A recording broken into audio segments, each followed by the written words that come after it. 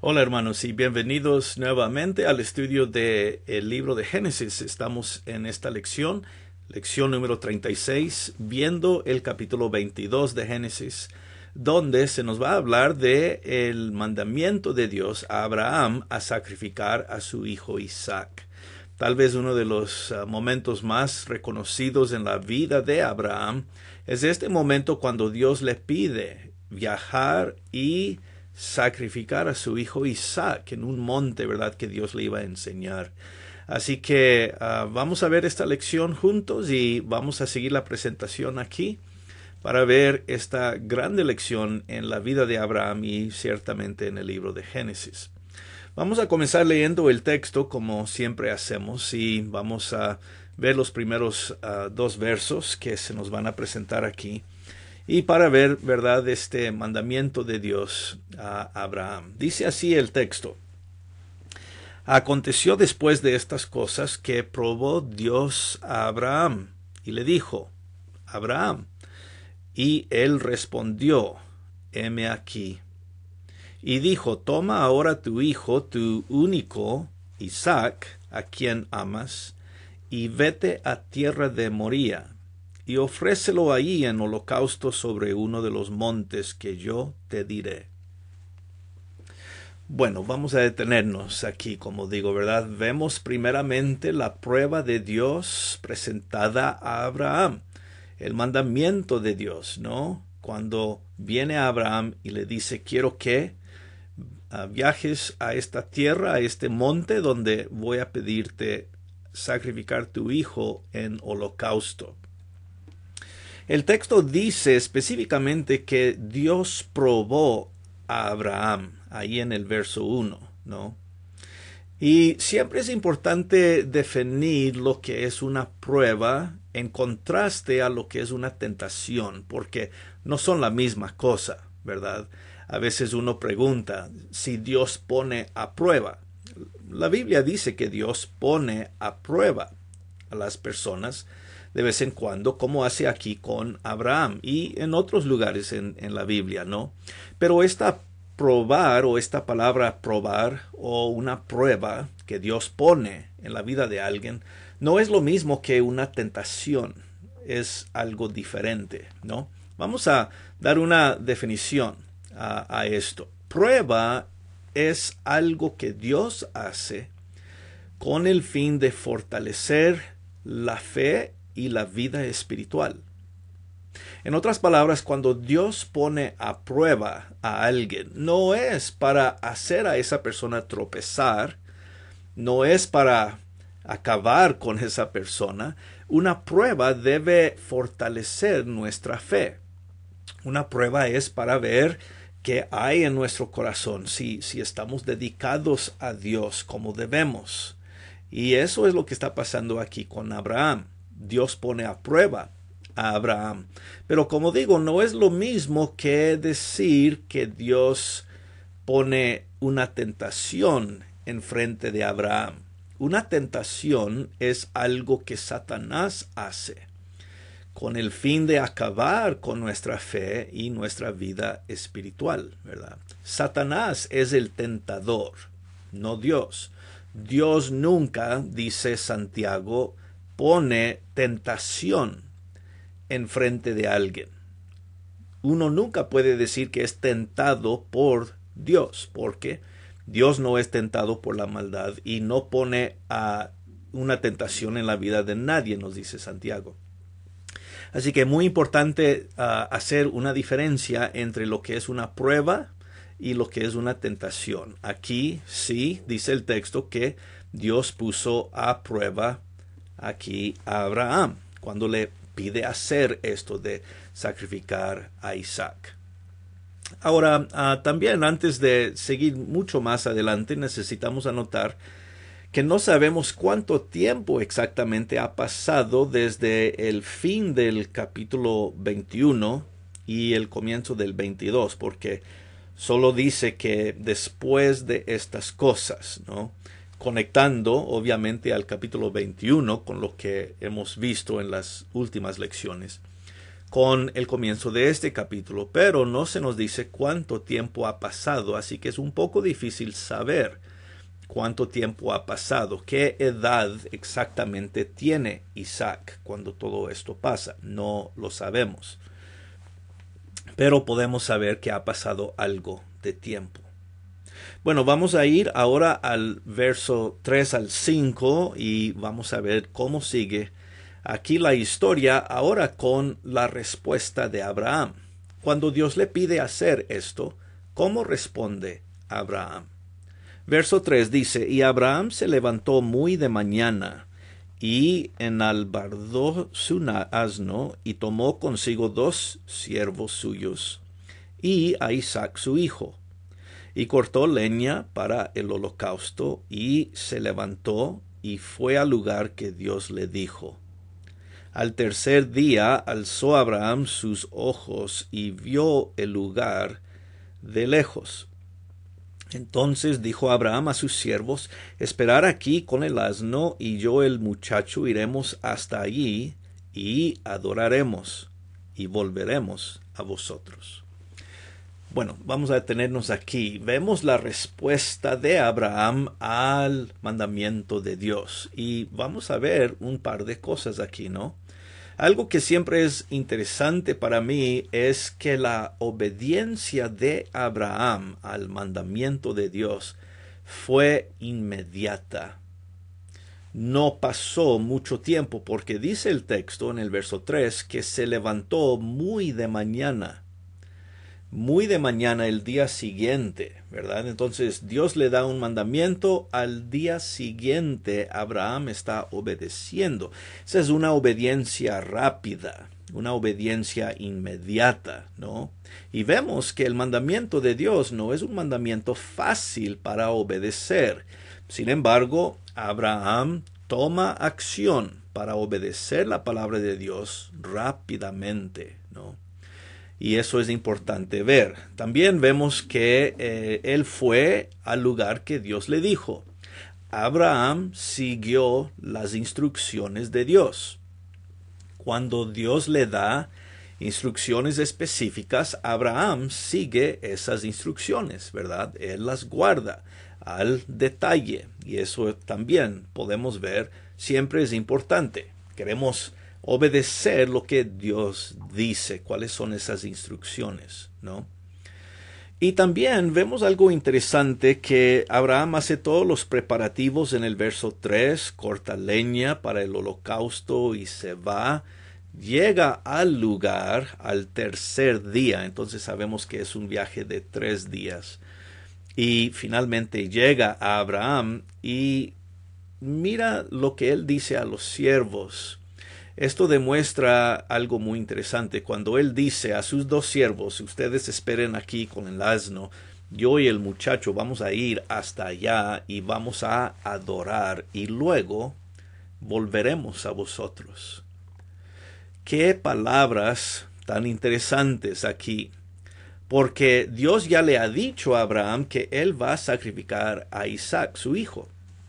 Pero Abraham tiene una confianza puesta en Dios que es muy impresionante.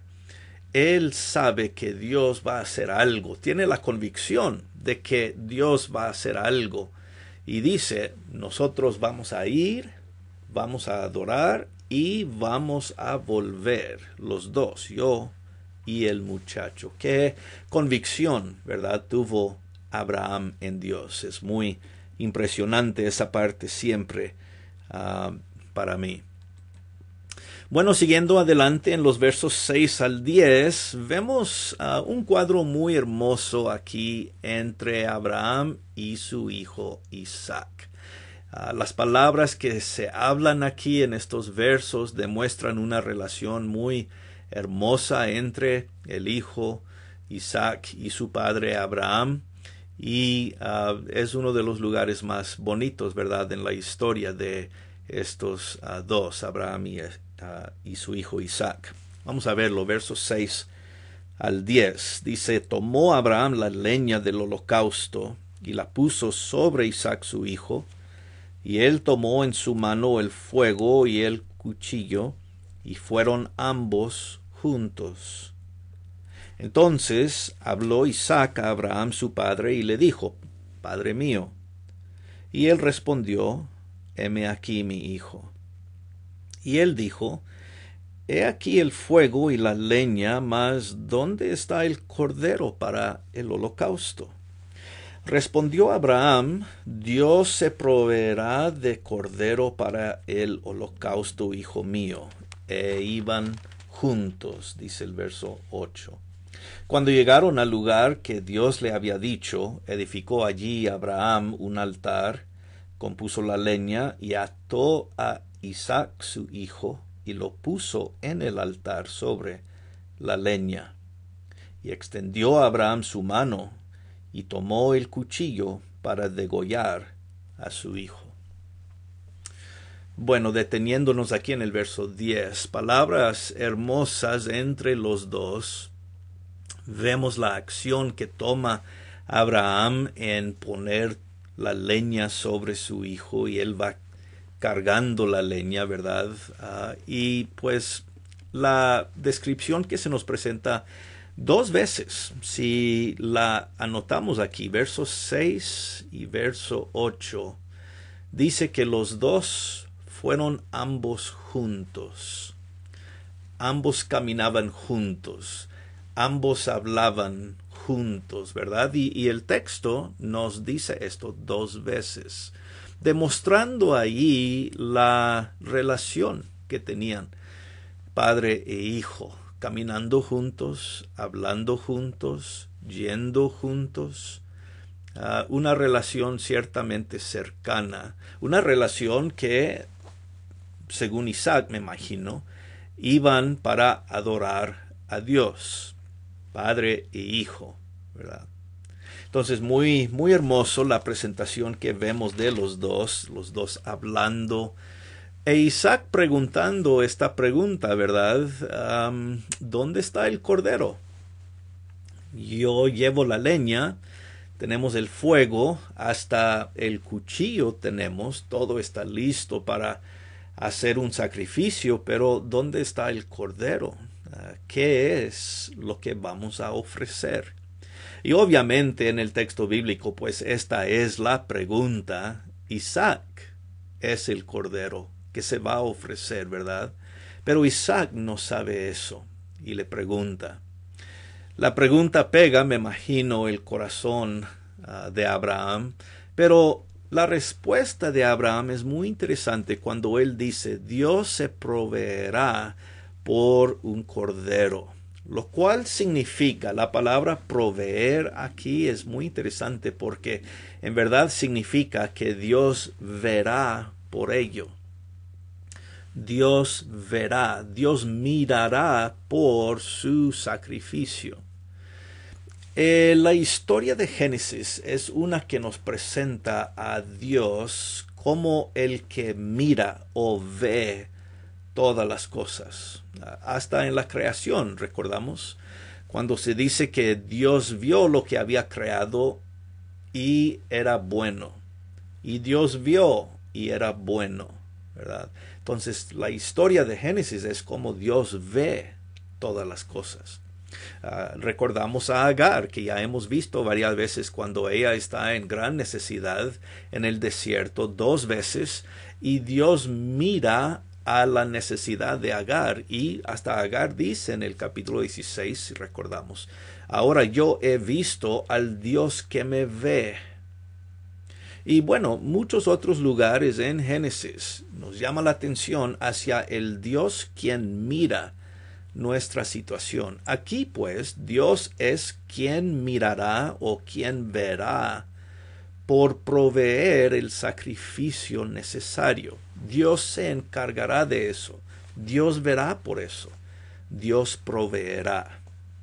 Y claro, esto demuestra una gran confianza y convicción que tiene Abraham. Dios va a hacer algo. No sé cómo o qué exactamente, pero yo tengo confianza en Dios. Luego nos habla el texto de cómo Abraham edifica el altar y coloca allí a su hijo Isaac. En algún momento, claro, Isaac se dio cuenta que él iba a ser el cordero. Y el texto no nos habla de eso, ¿verdad? Nunca nos habla de qué hizo Isaac, pero vemos, creo, que Isaac es obediente porque no trata de escapar, no trata de huir, ¿verdad? Se somete al cuidado de su padre, aunque eso significa su propia muerte. Entonces no solamente creo es Abraham obediente aquí, creo que debemos entender por implicación que Isaac también es obediente. Se somete Isaac a lo que Abraham va a hacer con él. Esa sumisión a su padre es muy importante, creo también captar aquí en la ah, forma en que Isaac ah, se pone o se queda en el altar, ¿no? sabiendo que su padre está por matarlo. Eh, en algún momento llegó a esa conclusión y él fue obediente aún en el momento de su muerte, aparentemente, ¿no? Bueno, qué interesante, ¿no? Esta ah, parte del texto y la lección. Vamos a continuar a la sección siguiente, verso 11 ah, al 14, donde vemos ya la acción de Dios. Dice así el verso 11 al 14. Extendió Abraham su mano, tomó, ah, perdón, verso 11. Entonces el ángel de Jehová le dio voces desde el cielo y dijo, Abraham, Abraham. Y él respondió, heme aquí. Dijo, no extiendas tu mano sobre el muchacho, ni le hagas nada, porque yo ya conozco que temes a Dios por cuanto no me rehusaste tu hijo, tu único. Entonces alzó Abraham sus ojos y miró, y he aquí a sus espaldas un carnero trabado en un zarzal por sus cuernos. Y fue Abraham y tomó el carnero y lo ofreció en holocausto en lugar de su hijo.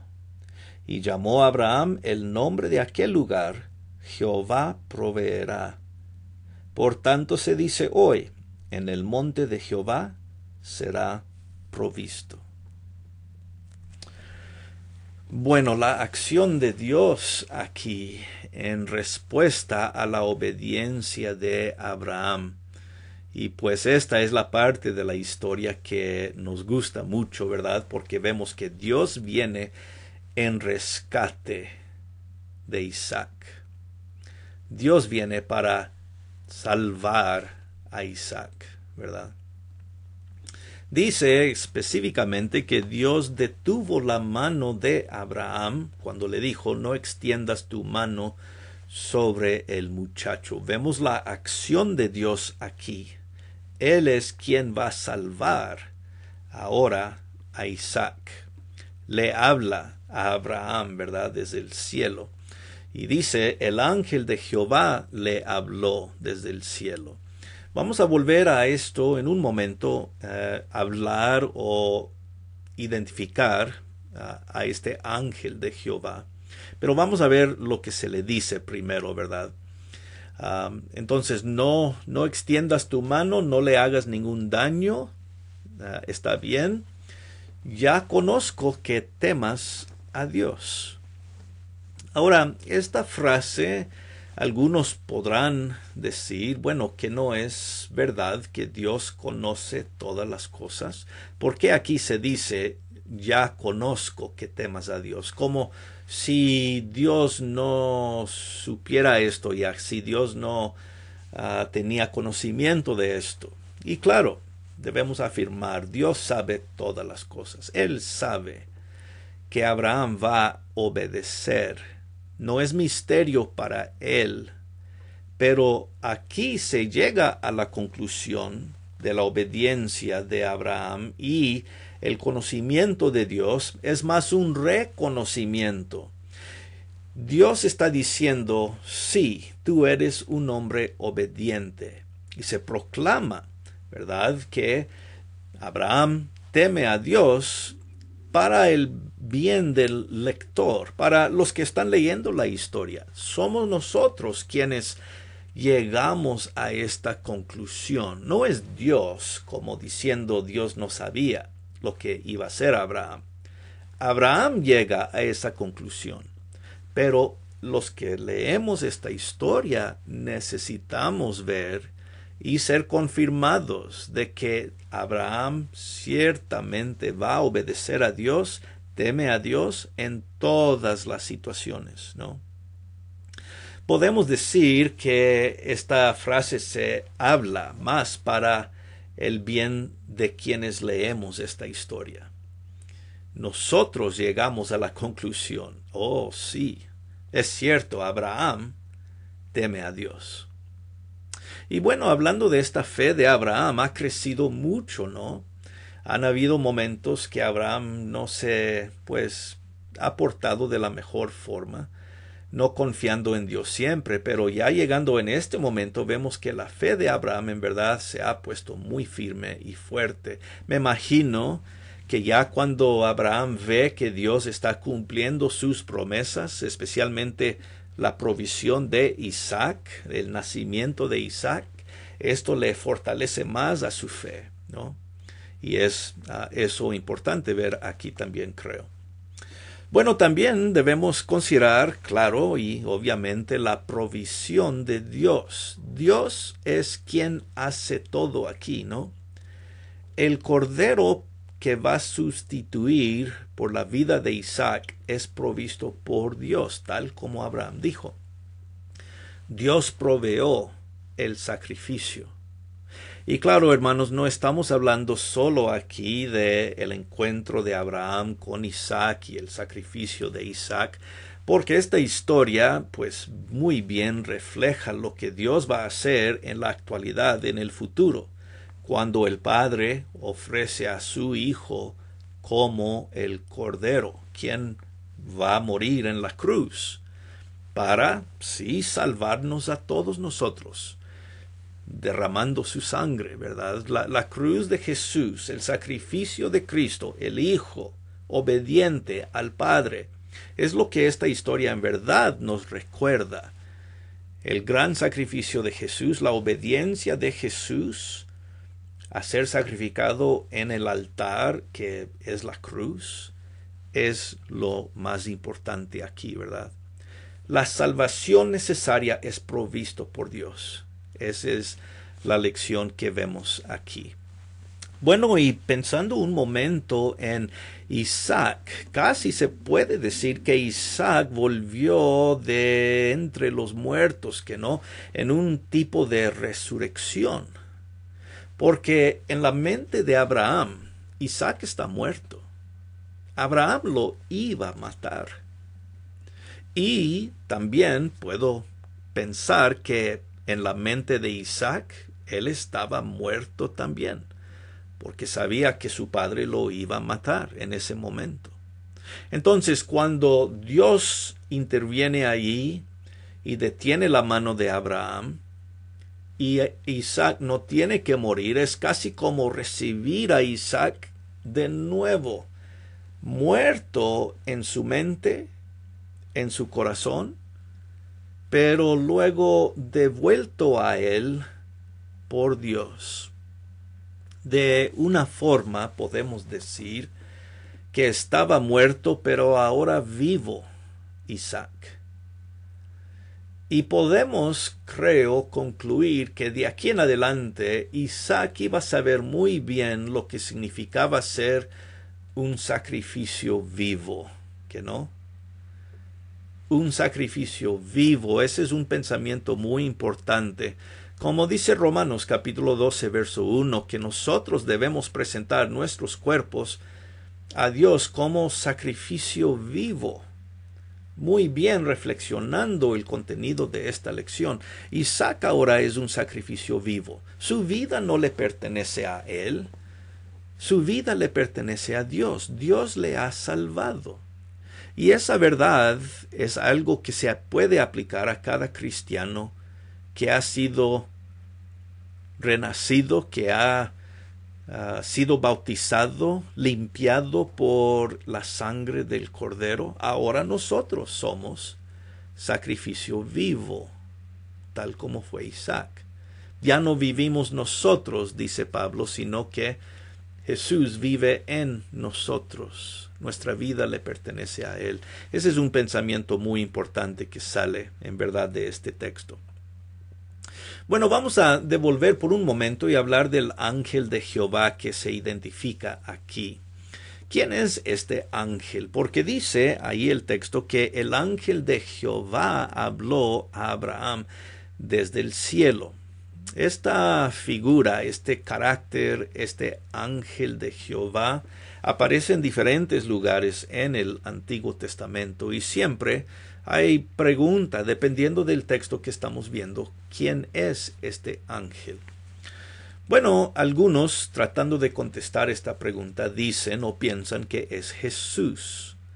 La manifestación de Jesús en el Antiguo Testamento en forma de este ángel de Jehová.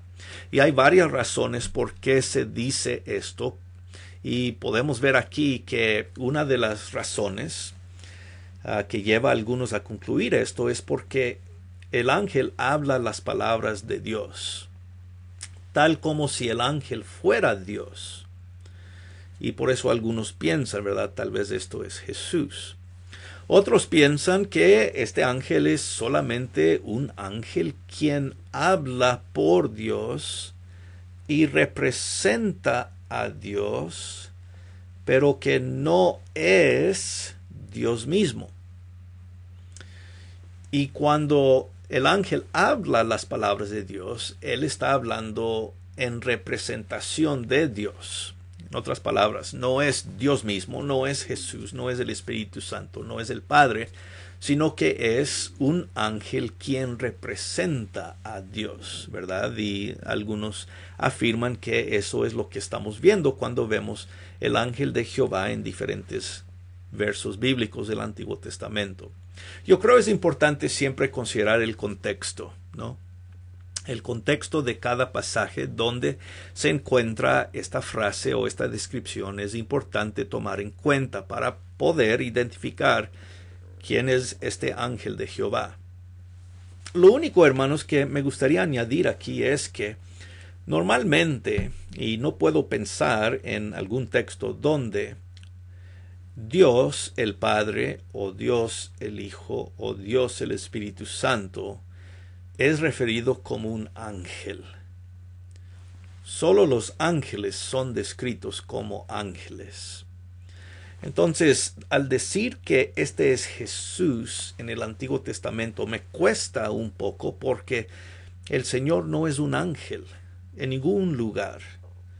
Los ángeles fueron creados por Jesús, por Dios el Padre, por el Espíritu Santo. Y decir que Jesús es descrito como el ángel de Jehová. Siempre me cuesta, no, no lo puedo decir porque es casi como poniendo al Señor Jesús en una categoría más baja a lo que en verdad Él pertenece. Jesús es el todopoderoso Hijo de Dios, es la deidad, uno de los tres miembros de la Trinidad, el creador de todas las cosas, el Señor de todas las cosas. Y decir que el Señor es el ángel de Jehová, no puedo llegar a esa conclusión. Yo sé que las palabras que se hablan aquí son palabras de Dios, pero aún el ángel cita las palabras de Dios. Si ponemos atención cuidadosamente eh, en el verso, uh, ¿dónde fue? Eh, el verso 15 que estamos por ver, ¿verdad? En un momento va a decir que llamó el ángel de Jehová a Abraham por segunda vez y dijo, por mí mismo he jurado, dice Jehová. En otras palabras, cuando el ángel habla lo que estamos por ver aquí en el verso 15, él está hablando de lo que Dios ha dicho. No es el ángel quien está diciéndolo, sino que el ángel que está hablando las palabras de Dios ya dichas. Entonces, para mí, ah, yo creo que es un ángel que representa a Dios, que habla palabras de Dios en el momento, pero como digo, no, no puedo concluir así nomás que esto es Jesús, el poderoso Hijo de Dios. Ah, bueno, ustedes pueden pensar, ah, tienen sus pensamientos, ¿verdad? Pero esa es mi convicción en este momento. Como digo, en el verso 15 comienza a hablar el ángel por segunda vez hasta el verso 18 y básicamente lo que le va a decir a Abraham es que le va a repetir las palabras de Dios a Abraham, las promesas que Dios ya le ha dado a Abraham. Vamos a terminar leyéndolo. Dice, y llamó el ángel de Jehová a Abraham por segunda vez desde el cielo y le dijo, Por mí mismo he jurado, dice Jehová, que por cuanto has hecho esto y no me has rehusado tu hijo, tu único hijo, de cierto te bendeciré y multiplicaré tu descendencia como las estrellas del cielo y como la arena que está a la orilla del mar. Y tu descendencia poseerá las puertas de sus enemigos. En tu simiente serán benditas todas las naciones de la tierra, por cuanto obedeciste a mi voz. Luego el verso 19 añade que volvió Abraham a sus siervos, se levantaron y se fueron juntos a Beerseba y habitó Abraham en Beerseba, en otros en otras palabras al sur, al mero sur de la tierra prometida. El punto, hermanos, es que eh, la fe de Abraham ha sido confirmada otra vez y las palabras que Dios habla de bendición son repetidas aquí. Eh, como Dios va a bendecir a Abraham, como Él va a ser una bendición a todas las naciones, ¿verdad? Y, podemos decir que todas las promesas que Dios ha hecho a Abraham se repiten aquí nuevamente después que Abraham ha demostrado su fe de esta grande manera una vez más. Es una historia muy hermosa, ¿no? Una historia hermosa de, de la obediencia de Abraham, la dedicación de Abraham, la obediencia de Isaac, pero más la provisión de Dios y lo que Dios hace en la cruz para ofrecer a su Hijo. Ciertamente, la historia más grande del amor de Dios, ¿no?